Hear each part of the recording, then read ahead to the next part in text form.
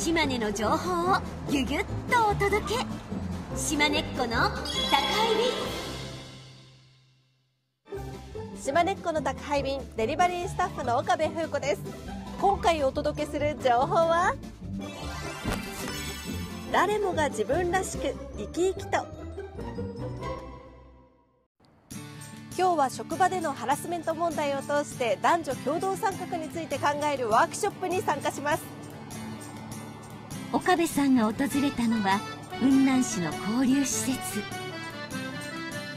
こんにちは。今日はよろしくお願いいたしま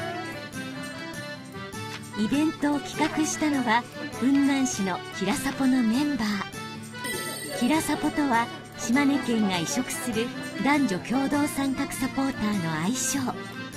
県や市町村と一緒に男女共同参画社会を目指し活動していますイベントには男女共同参画を推進するまちづくりのメンバーや市内の事業所市民など19人が参加しました。それでは動画をご覧ください。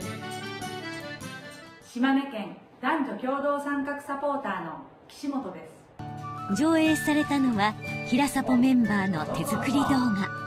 ハラスメントのない働きやすい職場づくりを考えてもらおうと今年制作しました。産休とは産前休業と産後休業のこと。働いている方どなたでも取得できます。わしらの時代ではありえんかったで。仕事を辞めて子育てに専念した方がいいと思うんだがね。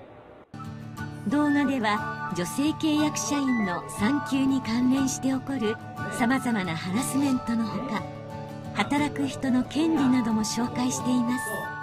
家族のことを思って生きてくださってるんだよ。職場ではハラスメントが嫌だって感じた時に声を上げられる環境づくりっていうのが大事だと思います。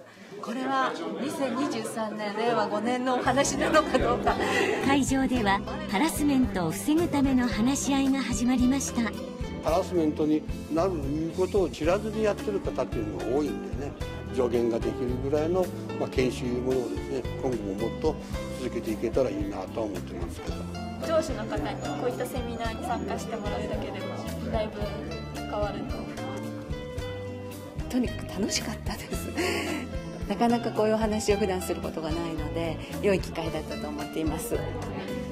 雲南市では現在8人のキラサボが協力して活動をしています。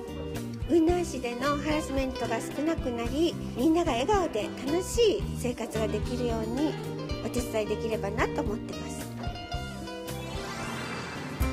県内には合わせて126人のキラサポが活動しています。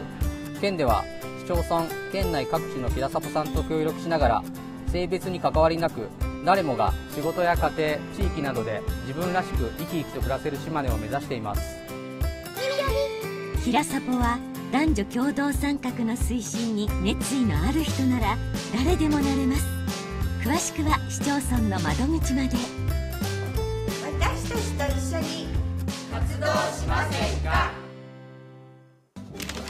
次回はアクアスの特別展「鱗のスケール無限大」です。またの利用をお待ちしています。